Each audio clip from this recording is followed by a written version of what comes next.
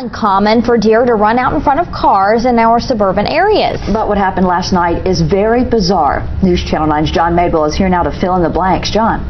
Well, Kim and Latricia, a first car hit and decapitated a deer. Then the carcass sailed into the opposite lane and went through the windshield of an oncoming minivan, and passengers were injured. Now, be advised, this video will show what's left of the deer.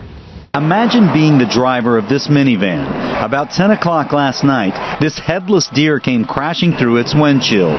This after another car in the opposite lane first hit it and decapitated the deer. Look at the steering wheel. You can see the damage from impact. From there, the carcass moved through the van and ended up all the way in the rear seat. It's hard for me to imagine what the people felt like. Sarah Freeman drove up on this bizarre wreck. She lives down this driveway where it happened. It was really strange. That's unusual that you see that happen anyway. Um, I worry about the people that were in it. We spent the day trying to find out, but the records division of the Hamilton County Sheriff's Office was closed for the holiday. We haven't yet identified the passengers, but have been told the injuries were not life threatening.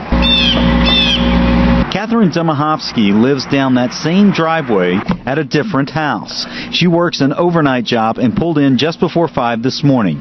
She knew something wasn't right. I did notice as I pulled in, the there's this big red streak on the bottom of our driveway on the concrete, and I thought to myself at the time, my goodness, you know, what happened? Somebody looked like something got stabbed. Need 11 and three quarter on a hay. This bizarre incident happened in the 11,000 block of East Brainerd Road in Apison. It's an area that's seen substantial growth recently. We've had a lot of displaced wildlife. We routinely have deer in our pastures here. Our horses find it very amusing, um, but they do. They hop our fence and they go across East Brainerd Road, and we've had several killed right in front of our property.